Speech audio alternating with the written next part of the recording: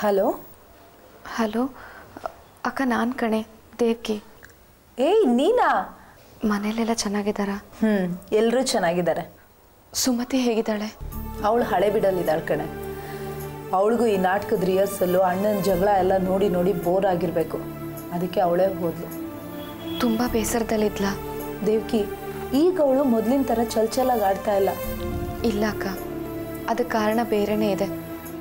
ಒಂದ್ಸರಿ ನಾನು ನೀನು ಸೇರಿ ಅವಳ ಬಾಯ್ ಫ್ರೆಂಡ್ ಬಗ್ಗೆ ಬಾಯ್ ಬಿಡಿಸಿದ್ವಿ. ನೆನಪಿದೆಯಾ?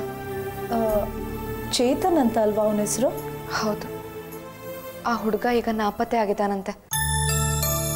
ಹದಿನೈದು ದಿನದಿಂದ ಪತ್ತೆನೇ ಇಲ್ವಂತೆ. ಅವನು ಕೇಳಕ್ಕೂ ಎಲ್ಗೋ ಹೊರಟಿದ್ನಂತೆ. ಅವತ್ತು ಸುಮತಿನೂ ಅವನ ಜೊತೆಗಿದ್ಲಂತೆ. ಅವತ್ತಿಂದ ಪತ್ತೆನೇ ಇಲ್ವಂತೆ. ಆವತ್ತೊಂದು ದಿನ ಸಿನಿಮಾಗೆ ಹೋಗಿ ಬಂದವಳು ತುಂಬ ಹೆದರ್ಕೊಂಡು ಬಂದ್ಲು. ಹಾರರ್ ಸಿನಿಮಾಗೆ ಹೋಗಿದ್ಯಾ ಅಂತ ನಾವೆಲ್ಲರೂ ಗೇಲಿ ಮಾಡಿದ್ವಿ. ಆವತ್ತೇ ಈ ಘಟನೆ ನಡೆದಿರ್ಬೋದಾ? ಹೌದಕ್ಕ. ಇವಳಿಗಿದೆಲ್ಲ ಯಾಕೆ ಬೇಕಿತ್ತು ಹೇಳು? ಈಗ ಹುಡುಗನ ಮನೆಯವರು ಪೊಲೀಸ್ ಕಂಪ್ಲೇಂಟ್ ಕೊಡ್ತಿದ್ದಾರೆ ಇವಳ ಹೆಸರು ಬಂದೇ ಬರುತ್ತೆ. ಆಗ ಇವಳನ್ನು ಅರೆಸ್ಟ್ ಮಾಡಲ್ವಾ? ನನಗಂತೂ ಇದೇ ಚಿಂತೆ ಆಗಿದೆ. ದೇವ್ಕಿ ಇದೆಲ್ಲ ನಿನ್ಗೆ ಹೇಗೆ ಗೊತ್ತಾಯ್ತು? ಅದು ಆ ಹುಡುಗನ ಅಕ್ಕ ನನ್ನ ಫ್ರೆಂಡು.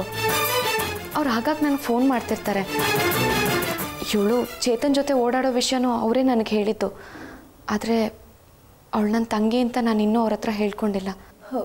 ದೇವ್ಕಿ ಅವ್ರಿಗೆ ಹೇಳಿ ಇವಳನ್ನ ಅವಾಯ್ಡ್ ಮಾಡ್ಸೋಕ್ಕಾಗಲ್ವಾ? ಇಲ್ಲ ಕಣೆ. ಯಾಕೆ ಗೊತ್ತಾ? ಕಲಾಟೆ ಆದಾಗ ಸುಮತಿನೂ ಅಲ್ಲೇ ಇದ್ಲಂತೆ.